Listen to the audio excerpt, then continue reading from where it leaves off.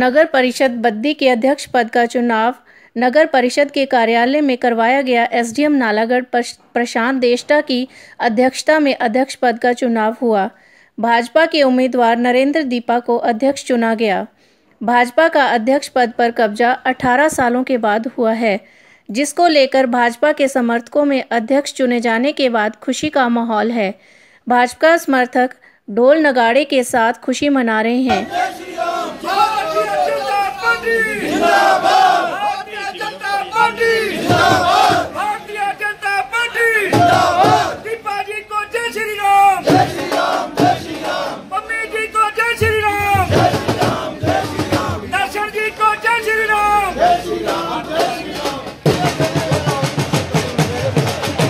वहीं लोकसभा चुनावों से पहले कांग्रेस को एक और बड़ा झटका लगा है।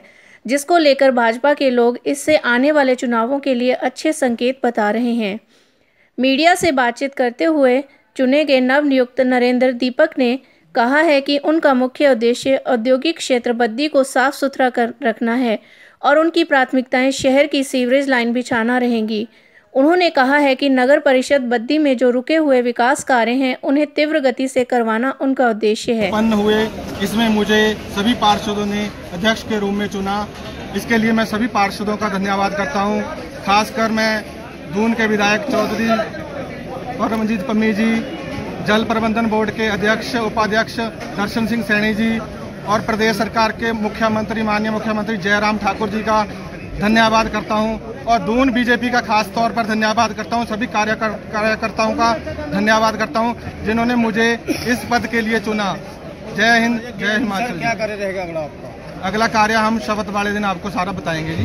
पूरा जो नगर परिषद का एजेंडा होगा वो शपथ वाले दिन हम आप सीवरेज का काम बहुत टाइम शुरू हो यहाँ जो जो सीवरेज सीवरेज जो डल गई है तो उसको हमने सबसे हमें अतिशीर्घ उनको चालू करवाने के लिए सबसे हम प्रयास हमारा सबसे पहला यही रहेगा।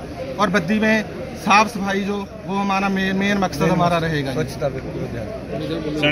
नगर परिषद का अध्यक्ष जो है माननीय एसडीएम साहब की अध्यक्षता में जो है करवाया गया। और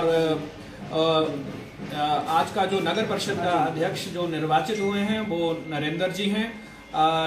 हम सब जो है नरेंद्र जी को और उनकी टीम को बहुत बहुत बधाई देते हैं कि वो नगर परिषद के इस अध्यक्ष पद के ऊपर असीम हुए हैं, सर्वसम्मत से हुए हैं, हम सब उनको बधाई देते हैं। इसके साथ साथ यहाँ के माननीय विधायक श्री परमजीत सिंह पम्मी जी और इसके साथ साथ माननीय हमारे जल बोर्ड के उपाध्यक्ष श्री दर्शन सैनी जी भी यहाँ पे थे। वो भी इस शहर के विकास के लिए हमारे विधायक महोदय अग्रसर हैं मिलजुल के काम करेंगे। जैसे जैसे हिमाचल प्रदेश सरकार जो है वो जिस गति से और जिस ट्रांसपेरेंसी से जिस ईमानदारी से आ, आ, काम कर रही है उसी दिशा में नगर परिषद जो है काम करेंगे हम सबको साथ लेके चलेंगे और जो जो भी समस्याएँ बीच में बद्दी एक ऐसा इंडस्ट्री टाउन ये दिन आज इतिहास के पन्नों में दर्ज होगा क्योंकि 18 साल के जो जो यहाँ पे भ्रष्टाचार हो रहा था नगर पालिका बद्दी में हमने उसको उखाड़ फेंका है और नरेंद्र दीपा जी ने भाजपा का परिवार बढ़ाया और नरेंद्र दीपा जी को हमारी पार्टी ने मान सम्मान दिया है और इनको चेयरमैन के नगर परिषद बद्दी के अंदर भारतीय जनता पार्टी का पहली बार अध्यक्ष नियुक्त हुआ है और कांग्रेस का जो अठारह साल का राज था, एक परिवार का राज था उससे नगर परिषद बद्दी के लोगों को आज मुक्ति मिली है, जिसका पूरा श्रेय